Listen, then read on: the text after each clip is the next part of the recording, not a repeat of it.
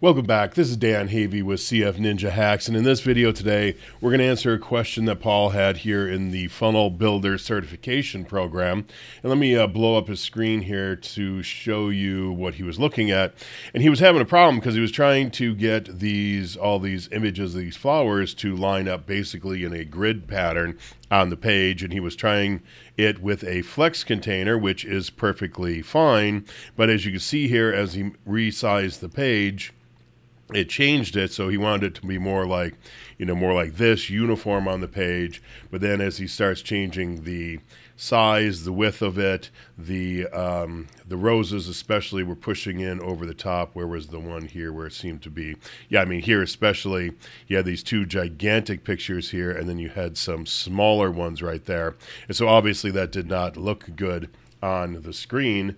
So let me show you what I did to get this set up. A couple different ways um, that you can do this type of a grid. One is going to be using flex boxes like he was using, and another one is just to use native elements inside of ClickFunnels. And I shouldn't say native elements because the flex boxes are now native elements in there as well. So we're going to start off up here at the top. And actually, let me go back into the editor. I was on the live page there for a minute. And so let's come in here. One thing I want to undo is to take out this negative 160 pixels at the top that I used to pull one flex row up over the other. And we'll take that down. And now we can take a look at how I set this up. So I just have a section here. Inside the section, I have a row. And then inside of the row, I'm going to put in some flex containers. Could you try to build this where you had just the flex containers, not inside of a section and not inside of a row? You could, but the reason why you want to do it like this is because then you can bound the um, the flex containers inside of the row. So it makes it a lot easier to control. Now, if you want those flex containers to be absolutely 100%, no matter how large the screen is, so somebody's got a 3,000 pixel wide screen, if you want it to take up the entirety of the screen, well, then you can do that by getting rid of the rows, getting rid of the containers, or setting the row to 100% width, getting rid of all the padding, all that. That clearly was not what the original was that Paul was looking at. In fact, he had two columns here. So in this case here, what I should have done probably is make a two column row. Let's go back to his video here. So yeah, he had clearly a um, two columns is how I probably should have set this up. But of course, you can do that um, by just putting it into a uh, where are we here? I keep going to the wrong page. Let me kill these two right there. Okay, so we're back to my row here. So what I was saying is you could do a two column row. Uh, so over here you'd have your column with your text in it, and then you'd have your other column where you're going to put in your flex containers. So inside of this row then, I put in a flex container, and what you're going to see is I put a single line black border all the way around all of them, just so you can see where the flex containers is because otherwise you wouldn't be able to see the flex containers. And then inside of here I just dropped in some images and on the bigger ones I said I wanted those 400 pixels and the smaller ones I said 200 pixels.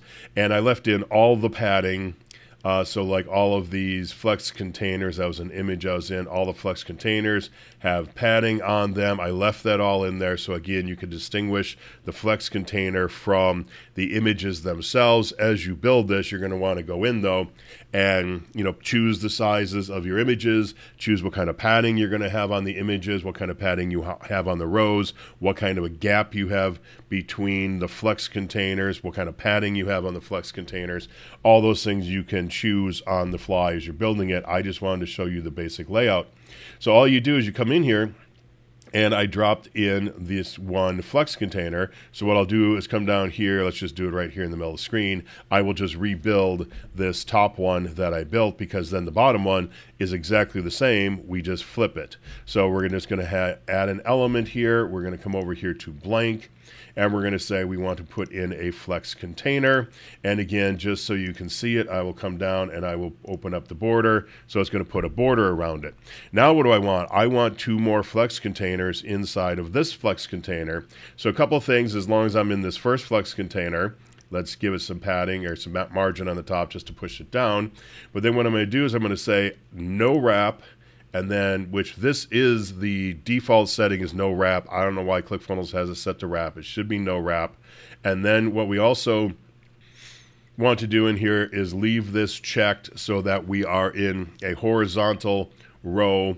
That's what we want here. We want a row, not a column, because we want to put these two flex boxes side by each. So the next thing we're going to do is we're going to come in, we're going to repeat what we just did which is to put in another flex container. So we're going to come into that flex container and we're going to come down and turn on the border and we're going to set this once again to no wrap and we're going to leave everything else alone, I do believe. Now what we want to do is we want to just clone this flex container. So when we clone that now, it's going to put them side by side because in the outer flex container, I said set it as row. Had I said set it as column, it puts them on top of each other like this, but we're going to just set it to row like that. So now we got them side by each. All I got to do now is come in, drop in my image, set that to 400 we're going to come over here. We're going to drop in another image, set this one to 200. And then what we're going to do is we're going to clone that image. And again, because we have this set as row in here, it's going to put them side by side. And then the other thing we want is we want them to just go to the top of the page. So we're going to click this button right here for align self, and that will pull it up to the top of the page. Now, in order to build the second one down here, and you can see I had this set to desktop only. Um, in order to build the second one down here, all we have to do is we're going to come in here and we're going to clone this element right there. So now we have, oops, we have these two here and they are identical. And all we're going to have to do now is we're going to click that gear. And instead of having it be a row left to right, we're going to make it a row right to left. So we just click this little button right there and it swaps the um, orientation of the two. And then what do I want with this column over here, this um, this flex container over here, I don't want this one at the top because I put this one at the top. I want this one at the bottom. So we put that down to the bottom. And then in this case here, I came in and I gave this lower flex container, I gave this minus 160 pixels because that's what I needed to get it to line up right. And although you see all the black lines around in here because of, of all the lines around the boxes, this gives you a perfect grid layout with all of your images exactly where you want it. So what I'm going to do is I'm just going to come in here and just delete out these two Flex containers I just created. And so now we have our one from before.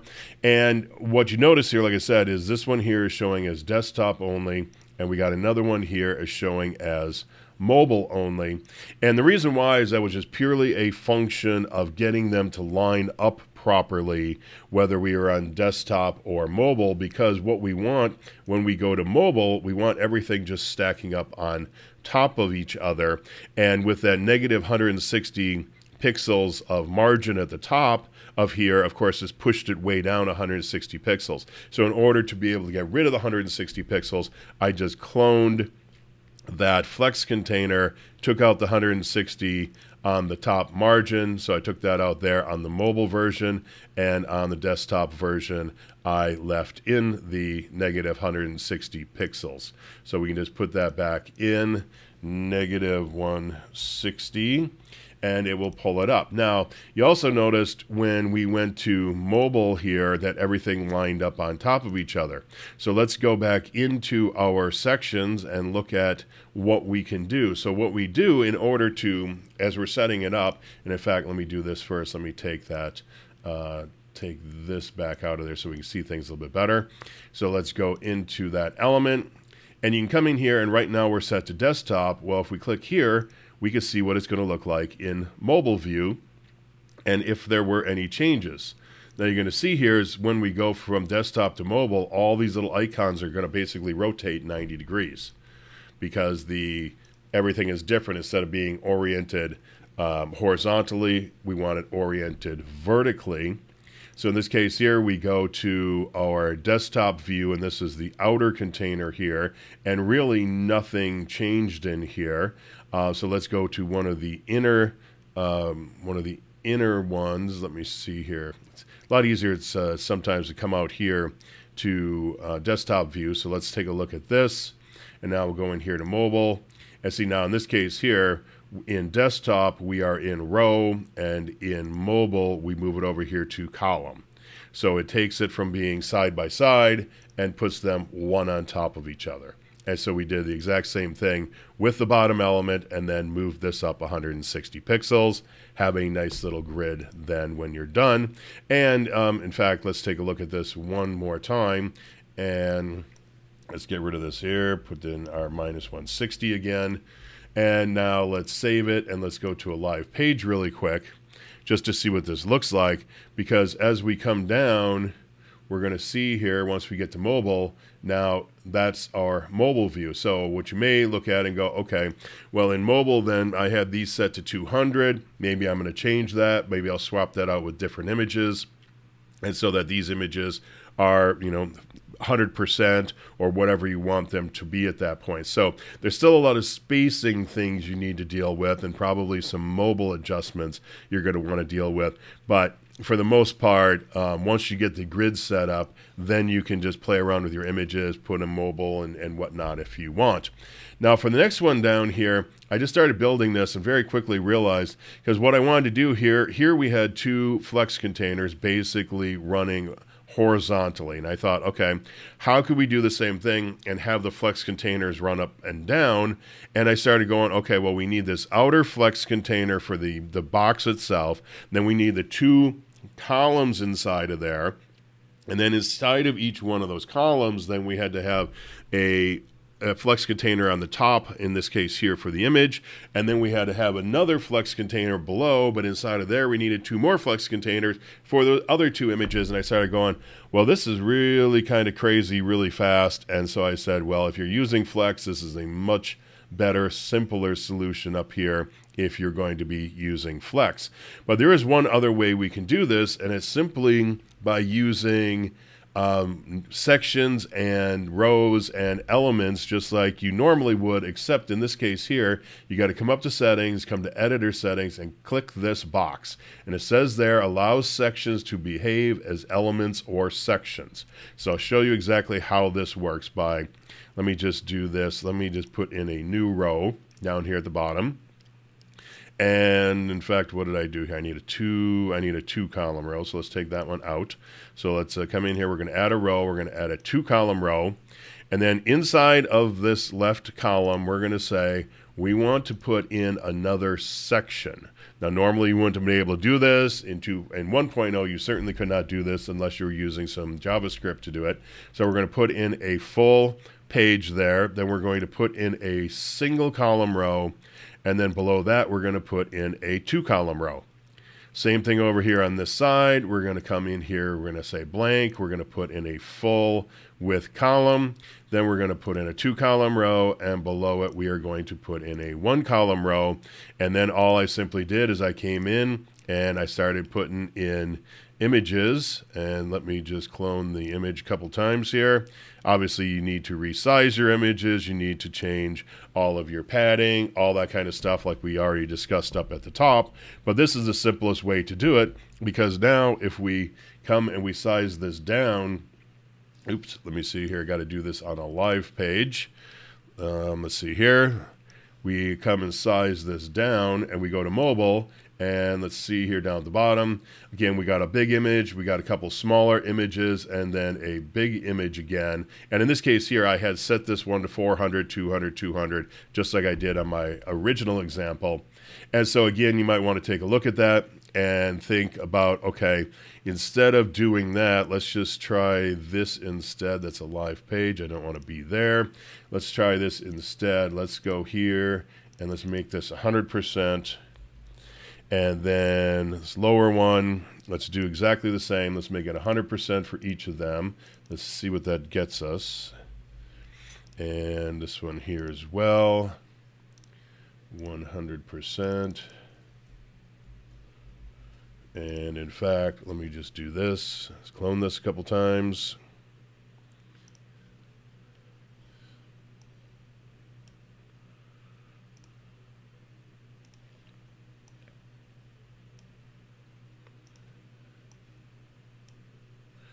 And let's save that and preview this page and let's see if that works better to make those all 100% because they're going to be bounded then by what you have here for your columns.